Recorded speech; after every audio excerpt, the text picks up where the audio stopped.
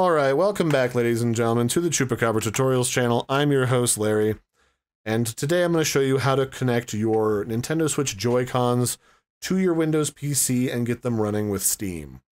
So the nice thing is Steam's got support for basically every controller type under the sun, even those weird flight sticks that you probably are thinking to yourself that's got to have a special driver. And Joy-Cons are no exception. Uh, but all you got to do to get these to work is have a computer with the most recent updated version of Steam and also the ability to connect with Bluetooth because most computers have Bluetooth these days, but some of them don't if they don't have a Wi Fi card or if you have an older one. Sometimes people buy a pre built, they have older ones, I don't know. But we're going to do that today. So the first thing we're going to do is I'm going to grab my left Joy-Con and I'm going to open up my, well, first you want to have the Steam settings open. So you go up to the upper left corner here and click Steam, click on Settings. You should get into a window that looks similar to this, but it'll probably be on Account, and then go down to Controller so you see this window. After that, open up your Bluetooth settings, bring that window on top of all the other stuff I just had you open, and then we're going to connect this controller to my computer with wireless because it doesn't really like behaving when I plug it into the special charging grip I got. So to pair your Joy-Con with your PC, if you look at the part that connects to your Switch, there's a little round button. Go ahead and give that a press and hold until the little lights next to it start uh, dancing. From there, you're going to click on Add Bluetooth or other device, click on Bluetooth, and then you should see Joy-Con in brackets L for left. Go ahead and click on that, and then you should be paired. You might also notice here that it says, hey, look, you've connected Joy-Con left. We're not done yet.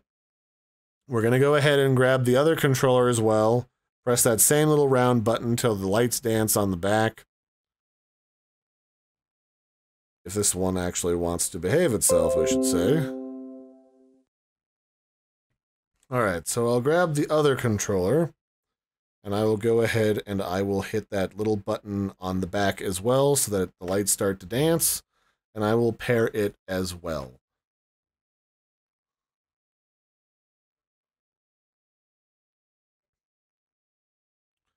There we go. It should show up, and then once both of them are connected to the computer, it'll look like it disconnected and it'll display Nintendo Switch Joy-Con left and right, and it automatically pairs them together as a single controller, whereas in the past, in past years, they used to be separate until you told it to make it function as singular. Which is down here. This setting is on by default. Combine Joy-Con in pairs. So basically what your settings are at the top is do you want the game to do you want these to vibrate when you're playing the game? Yes, no. Do you want to use the Nintendo button layout, which switches around the different visual A and B, X and Y buttons, just like they're displayed on the Nintendo controller? I recommend having that on. It doesn't always change them visually on the screen for you because that depends on the game's support for these Joy-Cons, but when it does and when it can, it will do so. Here under testing device inputs, you can click on this to make sure that your controllers are working. If you've got like mad stick drift, it'll sort of display that here. And if that happens, you can adjust the calibration of the dead zones inside of the controller layout options, which is right here under calibration and advanced settings.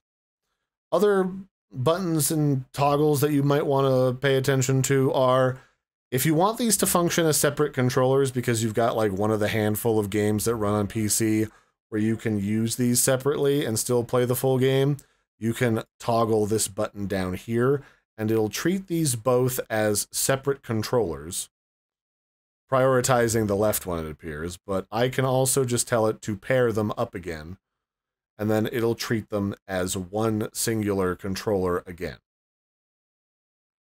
Although I think my right Joy-Con is currently low on battery, so it's not going to display it as left and right again, but if you have them both hooked up properly to your computer, it'll display them as L and R at the top there like you saw before. You just got to make sure that it has combined Joy-Con pairs toggled on, in order for them to function as a singular controller. Next up, you've got the option to guide button focuses Steam. So if you're using the correct options for like menu buttons and stuff and you're not currently in a game, it'll focus back on the Steam like client to do stuff. You can turn that on and off if you want. I don't really use that.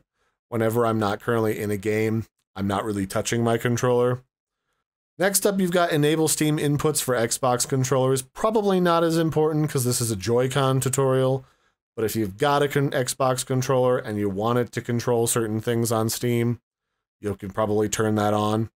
I just leave that off so it only does stuff while I'm in-game. You can also ignore this pull-down menu for PlayStation controller support because this is for Joy-Cons. Uh, but mostly what you want is combine Joy-Con pairs, which is in two locations for some reason, which is weird. That wasn't doing that before.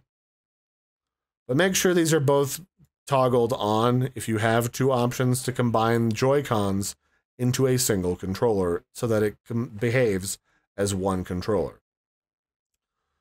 Um, you can enable Steam input for generic controllers if you have one. That's down here. Those would be like the weird wannabe PlayStation and Xbox controllers from companies like Logitech. You can set it so that your controllers turn off if you exit big picture mode. If you find yourself using big picture mode a lot to play games and you don't want your controllers to do the stuff with the things after you close it, you can toggle this on. Down here, you've got idle gamepad shutdown time. So if you're not using your controller, do you want them to turn off so that they save on electricity?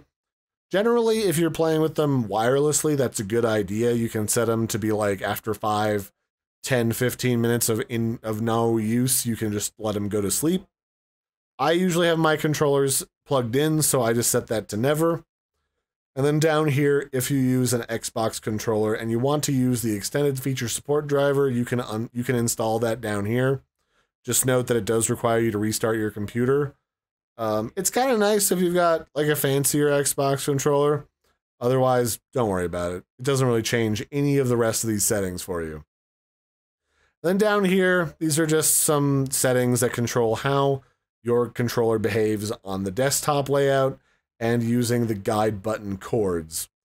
Neither of these are probably all that important to a lot of people. Usually when you're not in a game, a lot of people are just back on mouse and keyboard when they're playing around with their settings. But if you want to adjust that, you can click on edit here to mess around with it, or you can click on this to mess around with the only setting of resetting the layout for this option. And that, for the most part, is it. Once you've got your controllers plugged in and they're actually behaving themselves, which Righty wasn't for some reason, let's see if we can get it to behave itself now again. It's paired right here. Let's remove this device and pair it again now that it's got more charge. I don't know why this wasn't charging, but sometimes Joy-Cons have opinions, and that's why we're in this tutorial, isn't it? Um, as sort of like a disclaimer on the front of this, there's oftentimes a discrepancy and a bit of lag between one Joy-Con and the other when you're using it. I don't have a fix for that if that comes up and happens to you. Just do what you can with what you got. But yeah, here you go. Once it's paired again and you've got it set to combine them into one controller by saying combine Joy-Con pairs, at the top it'll say Nintendo Switch Joy-Con left slash right. And you should be good to go. I also have, for those who are interested, a discount code for NordVPN in the video description below. If you click on that, it gives you a discount on the service and it also gives me a kickback to help support the channel. And if you're not familiar with NordVPN, the whole notion of a VPN is it allows you to log in to a server somewhere else in the world that allows you to function as if you're using the internet from that location. It's great for disguising your internet traffic so people can't snoop on what you are doing. It helps to stay safe and secure for doing things like mobile banking on the go. And it's also nice for things like watching videos that are region locked if you've got things like Hulu. It's also got a few other handy details that are great for things like your phone. Like if you log into NordVPN on your phone, it's got a built in ad blocker so that you don't get nasty ads spammed throughout all the different apps that you use. And in general, it's got some great security features that help keep you protected while you're online. So I totally recommend it. And uh, if you're interested, the link's in the video description below. And I'll catch you next time. Don't forget to like and subscribe. And bye, everybody, and have a good one.